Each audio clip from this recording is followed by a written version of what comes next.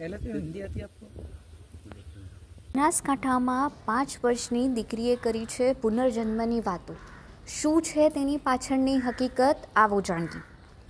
સામાન્ય રીતે પુનર્જન્મની ઘટનાઓ આપણને ફિલ્મોમાં જ જોવા મળતી હોય છે, જેમાં પુનર્જન્મની કેટલીક ઘટનાઓ વર્ણવવામાં આવતી હોય છે.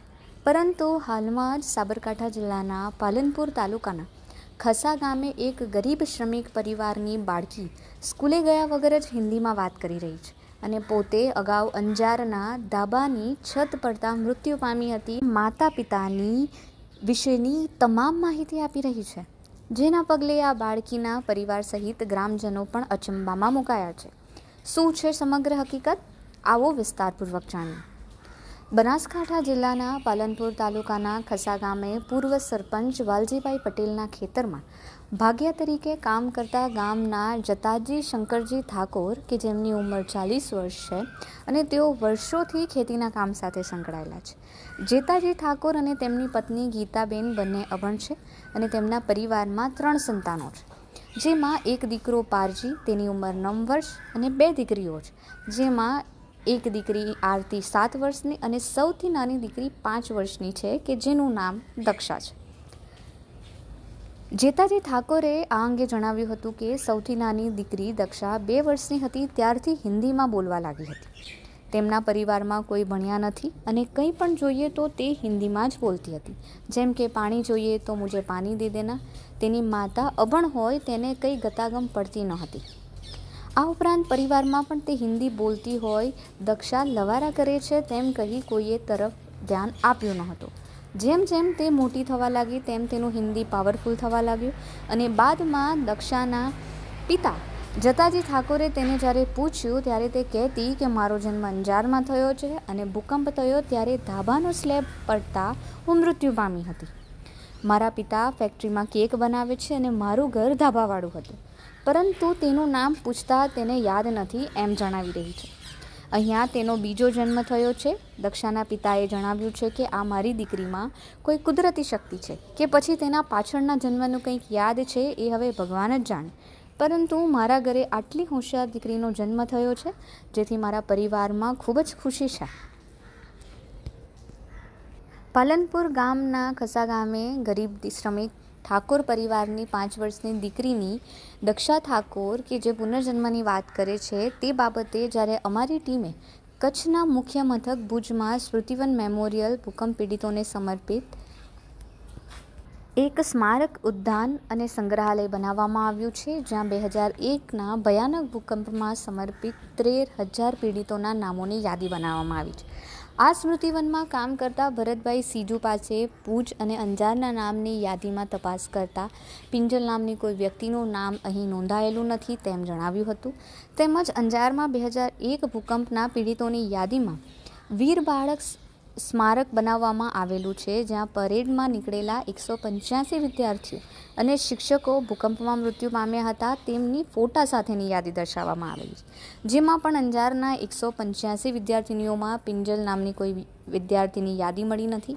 તેમજ ગામની દક્ષા ઠાકોર નામની જે બાળકી એ પહેલાં તેના પિતાના કેકના કામ વિશે જણાવ્યું હતું, તે વિશે પણ અંજારમાં તપાસ કરવામાં આવી. તો તે સમયે અંજારમાં એક જ બેકરી હોવાનું જાણવા મળ્યું છે. અને ત્યાંથી પણ તપાસ કરતા આવી કોઈ વ્યક્તિ મળી ન હોવાની વાતની જાણ થઈ છે.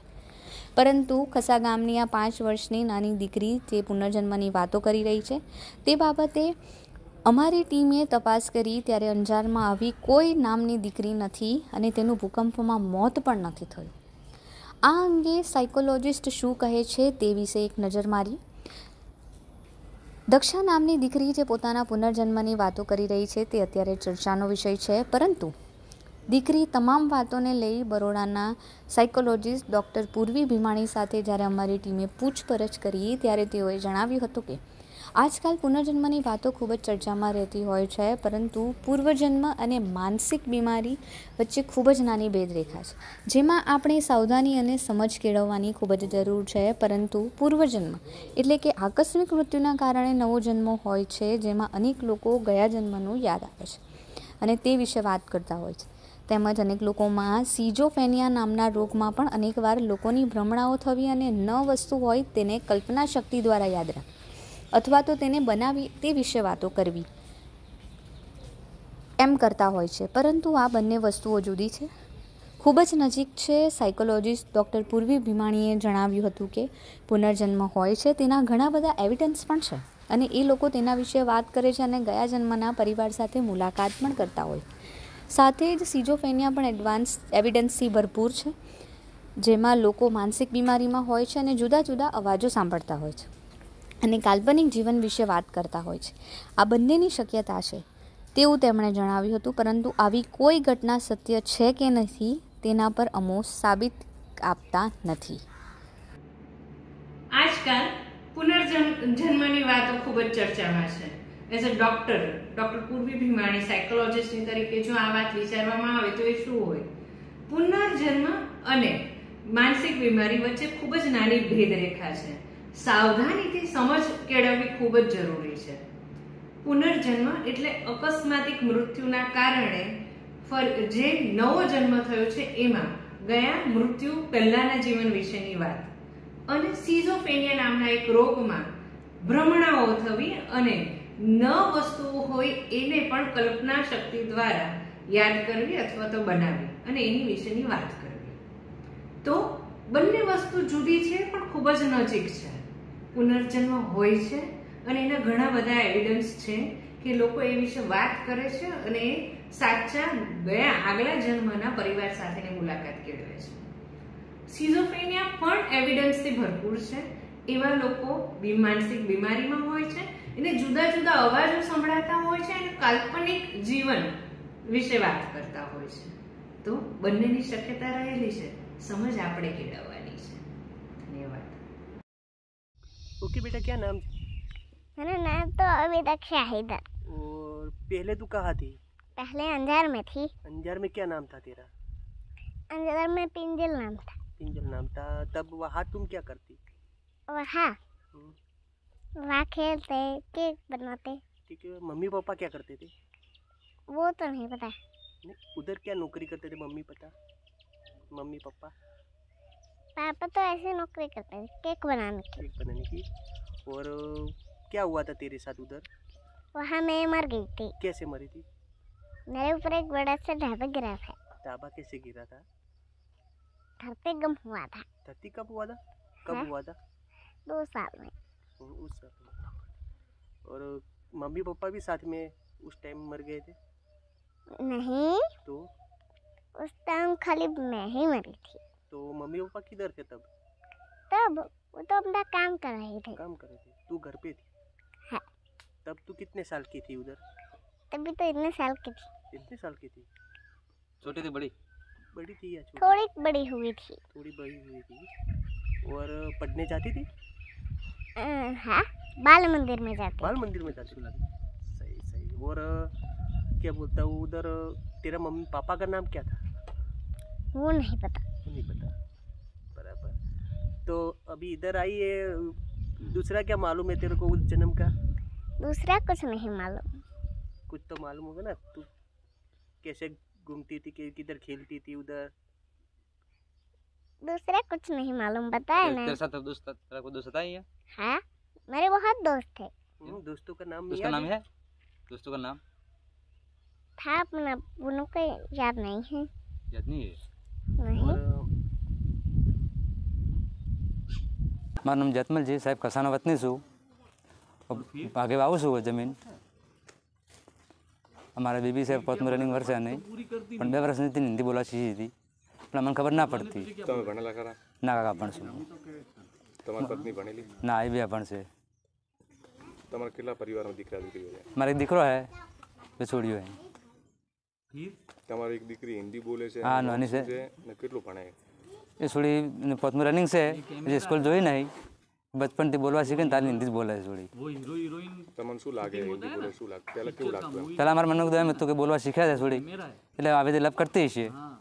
મારા મનમાં એમ હતું. પણ જેમ જેમ ઉંમર થવા મળી ને એમ પાવરફુલ હિન્દી બોલવા મળી એટલે મેં ફોલાને પૂછ્યું એને કે મારો જલમ અંજારમાં હતો હું આવેરથી મારું- મૃત્યુ જમ્યું હતું. મને ભગવાન ભાઈ મિલી છે. મારી દૂસરી મમ્મી હતી દૂસરા પપ્પા હતા. આવી વાત કરે છોડી. મેં પૂછ્યું નામનું ઘણી ફોલ આવે પણ કે નામની મને પતા નહીં કે. એ કહે કે પોપડા અંજારમાં હતી કે હું. એ કે મારા પર દાબુ ગયું. ધરતીકંપ થયો ને કે મારા પર ધાબુ પડ્યું હતું આવી વાત કરે છે. હવે હકીકતમાં શું છે શું નથી એ કુદરતને ખબર એટલે તમને કોઈ વાત કરે કે ભાઈ આ રીતે કંઈ પહેલાં મારા પપ્પા કરતા એવું કોઈ હા કહેતી ને કે મારા પપ્પાને કેક બનાવવાની ફેક્ટરી હતી મારા પપ્પા આવા કપડાં પહેરતા મારા મમ્મી આવા કપડાં પહેરતી એ બધી વાત અવસર નામ આલે है उनका नाम नहीं है मेरे भाई था मेरी छोटी बहन थी एक के हाँ ये बात करे है અ, પહેલાંનું યાદ કરીને અહીંયા શું કહે કેવું કે વાત કરે અહીંયા बात करे ले वो पूछा ना नहीं ये जो जवाब आले कि पहले मैं अंजार में थी हिंदी में डायरेक्ट हिंदी में बात कराए हिंदी में બીજા ખરા હિન્દી બોલે ખરા ઘરમાં બીજા ना कोई नहीं પરિવારમાં કોઈ कोई नहीं તમને શું લાગે और फिर कुदरत शक्ति से કે કે ના પેલા ભવનો કોઈ એની યાદ રહ્યું છે નહીં એ હવે કુદરતને ખબર તમારા પરિવારમાં કોઈ ભણવા જતું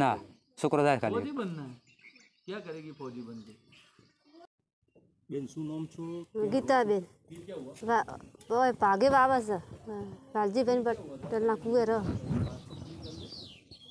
તમારું નામ શું આપ્યું ગીતાબેન શું રહો તમે ઓય વાલજીબેન કુએ ગામનું નામ શું ખસ્સા શું કરો છો અહીંયા ઓય ભાગે વાવે બે બે વીઘા વાવે ને રહ તમારા પરિવારમાં કેટલા દીકરા દીકરી બે છોડીઓ અને એક છોકરો ત્રણ તમારી નાની છોકરી હિન્દી બોલે છે? હા એ હિન્દી બોલે.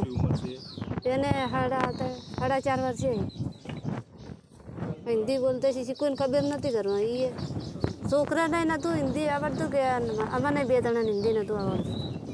અને બોલતે હવે છે એ હાસ્ય સિર નહીં કોઈ કુદરતી એને હતું. ભગવાનના ઘરનું કોઈ એને કુદરતી બોલવરાવે છે હાસ્ય બોલતે ખરી ના ચોય ને હારે કે ચોય નહીં લઈ જજે. તે બિહારી નહીં ના ભણ. અમારો ઘરવાળો ભણ. શું વાતો કરે એ? વાતો કરે હું કોઈ સમજતી ના. બસ કે રોટી આમ નહીં મમ્મી પણ મેં કોઈ સમજી ના. પછી રહેતે રહેતે ખબર પડી. બે ત્રણ વર્ષની સીધા? અંજારમાં કે મારા પહેલી કે હું અંજાર હતી અને કે ધરતી કોમ શું કે હું ડટાઈ ગઈ હતી મક્કન માર માથે પડી હતું હું ભણવા દાદી કે મારું નામ કિંજલ હતું પછી કીધું આખું નામ બતાવે તો કોઈ ખબર પડે પણ પછી કોઈ પેલું એને આખું નામ બતાવ્યું ના મા બાપ ના એ પછી મારા જોડે ના બોલતી. એ પછી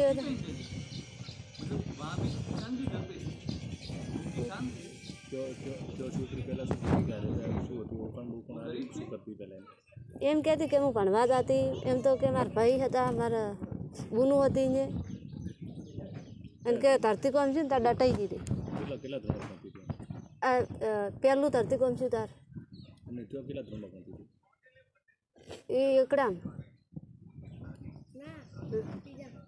ત્રીજા ત્રીજા ધોરણમાં ભણતી હો. ત્રીજામ કે ભણતી હતી તેમનો હજી એને નહીં પેલું જવાબ આલતું તમને શું લાગે છે હવે એને કુદરતી છે કે શું શું છે? કુદરતી બોલાવડાવે? હા? આ કિંજલ પેલી આ અંજારમાં હતી? તો એને કુદરતી બોલાવરા કોઈ? ભગવાન જાણે શું છે શું છે? અમારા ઘરમાં કોણ કંઈ આ નહોતું આવડતું હિન્દી બોલતું. કોઈ બોલતું નહીં ઘરમાં. તો હાસ્ય છે.